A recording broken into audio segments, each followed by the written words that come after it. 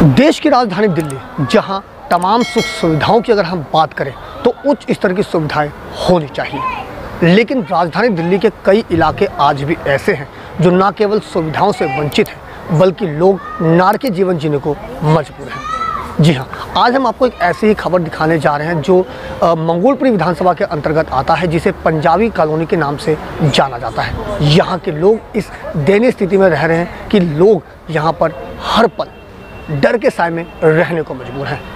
वजह यह है कि यहाँ की जो दीवारें हैं, वो खंडहर होती जा रही हैं और अक्सर हादसे का कारण भी बनती है। आपने दिल्ली की हाईटेक कॉलोनी और सोसाइटी तो ज़रूर देखी होगी, लेकिन आज हम आपको राजधानी की एक ऐसी तस्वीर दिखाने जा रहे हैं, जहाँ लोग न केवल सुख सुविधाओं के अभाव में जी रहे हैं, बल्कि लोग अपनी जान को दाव पर लगाकर रहने को मजबूर हैं। वैसे तो राजधानी दिल्ली में विकास के बड़े बड़े दावे किए जाते हैं, लेकिन दिल्ली के कुछ इलाके आज भी ऐसे हैं जहाँ लोग बदहाली के आलम में जीने को मजबूर हैं। दरअसल दिल्ली के मंगोलपुरी इलाके में स्थित पंजाबी कैंप के लोग नार के जीवन जीने को मजबूर हैं। सर, यहाँ छियासी से यहाँ पर लोग आए हुए हैं और पंजाब के दंगों में मतलब कि सरकार ने ये जगह हम लोगों को रहने के लिए दी थी। उसके बाद कोई भी आज तक यहाँ की, कोई भी हमारी मतलब किसी भी परिस्थितियों में कोई सी भी परेशानी रही है। हमें यहाँ आते तो बहुत लोग हैं, लेकिन हमारी भी कभी समस्याओं का किसी ने भी निरीक्षण नहीं किया है यहाँ सी एम से भी मिली हूँ, यहाँ डी पे भी गई हूँ, यहाँ जितने भी मतलब बड़े बड़े ऑफिसर्स हैं और उन मतलब जो आकर के जहाँ तक बोलते हैं कि जब चुनाव चलते हैं तब भी आकर के बोलते हैं कि भाई यहाँ को यहाँ पर आने का मौका दो। कई तो ऐसे मतलब मतलब नेता हैं जो कहते हैं कि चप्पलों से मतलब दिखा दिखा के औरतों ने भगाया है कि भाई खतरा बहुत ज़्यादा है। मैं कई बार बेटा होता हूँ ना पता नहीं किस टाइप पे मैं गिर जाता हूँ। क्योंकि मेरे दौरे के दौरे में इसमें खतरा बहुत ज़्यादा है। कोई पता नहीं किस टाइप ऐसा हो कोई कैंप में बनी इमारतें जर्जर हालत में होती जा रही हैं। यहाँ की दीवार ये साफ़ बयां कर रही है कि यहाँ कभी भी कोई बड़ा हादसा हो सकता है। घर की छत का हिस्सा कभी भी नीचे गिर सकता है। यहाँ रहने वाले लोग अक्सर इस खौफ में रहते हैं कि वह किसी हादसे का शिकार ना हो जाए। इस कैंप में रहने वाले लोग आज के आधुनिक युग में दिल्ली जैसे शहर में भी मूलभूत सुविधाओं से वंचित हैं। यह बदहाली का आलम है कि अक्सर जर्जर इमारत की छत किसी पर गिर जाती है तो कभी दीवारें। लेंटर में निकल रहे लोहे के सरिये कैंप की जर्जर हालत को साफ़ तौर पर दर्शा रहे हैं। नौबत यहाँ तक आ गई है कि रात को सोते समय लोगों को यही डर सताता है कि कहीं छत या इमारत ना गिर जाए और वो सोते के सोते ना रह जाए। ये कैंपस सारा टूटने वाला है। मर जाएँगे हम। ये बच्चे हमारे निके निके बच्चे गंद पड़ा हुआ था कहाँ जाए हम? किधर जाए? सुनाई क्यों नहीं होती? सुना नहीं चाहिए हमें। किधर मरे हम? किधर जाए? कहाँ लेके बच्चों को जाए? ये सारा कंपन इधर सारा टूटा। कब से है इधर। कब से ये चालीस साल हो गए हमें यहाँ रहते। बिल्कुल गंदगी में हम रह रहे हैं। चालीस साल हो गए हमें यहाँ रहते। बच्चे भी यहाँ कोई नहीं हमारा रिश्तेदार कोई रिश्तेदार नहीं यहाँ आता बहुत खतरा बहुत ही ज़्यादा ये तो खस्ता हालत में है बिल्डिंग पता नहीं कहाँ से भी गिर जाए। मैं तो उधर जाके बैठा ही अभी। ऊपर से काफ़ी मलबा मेरे सिर में गिर गया। तो फिर मेरे को हॉस्पिटल लेके गए डॉक्टरों ने कहा भी ये सिटी स्कैन कराना पड़ेगा जल्दी। प्राइवेट कराओ नहीं तो सरकारी लेट हो जाएगा। अभी चाहिए। इस इसकी हालत तो काफ़ी टाइम से ही ऐसे चल रही है।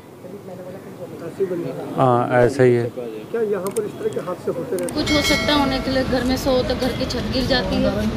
छत भी रिपेयरिंग करनी पड़ती है बाहर की भी रिपेयरिंग करनी पड़ती है। हर साल हर कोई आ जाता है वादा कर जाता है वापस चला जाता है कोई कुछ बोलता नहीं है। पागल समझा हुआ हमारे को। और क्या कर सकते हैं? कुछ भी नहीं मजबूरी है। नहीं है कुछ है ही नहीं साधन रहने के लिए इसके लिए मजबूरी में रह रहे जिस दिन कुछ हो गया तो सारी सरकार भागते हुए आएगी, ये हमारा था, ये हमारा था, ये हमारा था। कि हम इनको मदद देंगे, क्या हमारे मौत पे दो दो लाख रुपए दोगे हमारे को? मरने के बाद। पूरा हमारा परिवार उजड़ जाएगा, बस जाएगा, बसे हुए को तुम घर नहीं दे रहे।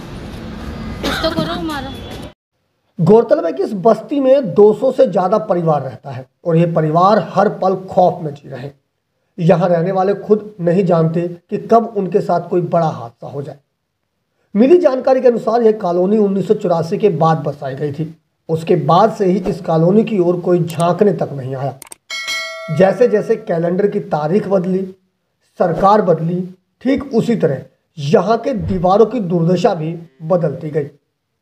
लिहाजा देखना लाजमी होगा कि शासन और प्रशासन इस ओर कब तक अपना ध्यान आकर्षित करता है। मैं सब मौजूद हूँ मंगोलपुरी के उसी जगह पर जहाँ की जो अ, मैं बात कर रहा हूँ ये अ, पंजाबी कॉलोनी के नाम से ये जो अ, जो कॉलोनी है जानी जाती है और तस्वीरें साफ़ तौर पर इस बात को बयां करने में आमादा है कि किस तरीके से यहाँ की दीवारें खंडहर में बदल चुकी हैं और लोग यहाँ पर डर के साए पर रहने को मजबूर हैं। आपको बता दें कि ना केवल दीवार बल्कि कई घरों की जो छतें हैं छतें तक जो है वहाँ का लेंटर है वो टूटता टूटता सा जा रहा है और अक्सर जो दीवारें हैं, वो गिरती रहती हैं। ऐसे में अक्सर यहाँ के लोग जो हैं हादसे का शिकार भी होते हैं। लोग इस डर के साए में यहाँ पर रहने को मजबूर है कि कभी भी कोई भी परिवार का सदस्य दुर्घटना का शिकार हो सकता है और अक्सर कई बार लोग दुर्घटना का शिकार हो जाते हैं। वहीं अगर हम बात करें तो अगर साफ़ साफ़ सफ़ाई की व्यवस्था की बात करें तो तस्वीरें साफ़ तौर पर इस बात को बयां करने में काफ़ी है कि किस तरीके से लोग यहाँ पर रहने को मजबूर होंगे। ना केवल साफ़ सफ़ाई की व्यवस्था की हालत चरमराई हुई है, बल्कि यही जो व्यवस्था है, ये तमाम जो महामारी को भी दावत देने का काम कर रही है। ऐसे में यहाँ के लोग किस हालत में रह रहे होंगे, इसका अंदाज़ा साफ़ तौर पर लगाया जा सकता है कि लोग नार के जीवन जीने को मजबूर हैं। जब यहाँ के लोगों से हमने बात की तो उन्होंने साफ़ तौर पर बताया कि ये जो कॉलोनी है, ये उन्नीस सौ चौरासी के बाद बसाई गई थी, लेकिन उसके बाद कभी भी इस कॉलोनी की ओर कोई झांकने नहीं आया। हाँ ये ज़रूर है कि लोग आए, राजनीति हुई और तमाम आश्वासन दिए गए। लेकिन वो आश्वासन महज आश्वासन ही बनकर रह गए और जो दीवारें खंडहर हो रही हैं, उनको उसी जर्जर हालत में छोड़ दिया गया। यहाँ के लोग अब इस दुर्दशा में रहने को मजबूर हैं और अक्सर लोगों को दुर्घटना का डर सताता है। ऐसे में लोगों का कहना है कि इस ओर ध्यान दिया जाए ताकि ये जो दयनीय हालत है, इसमें सुधार किया जा सके। लिहाजा ज़रूरी है कि शासन और प्रशासन इस कॉलोनी की ओर एक बार झांके और अपना ध्यान आकर्षित करें और कुंभकर्णी नींद से जागकर इसका कोई समाधान निकाला जा सके।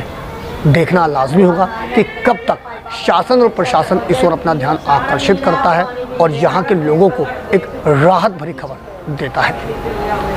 दिल्ली से अपने सहयोगी फिरोज हसन के साथ अजीत कुमार की रिपोर्ट, हम वतन टीवी।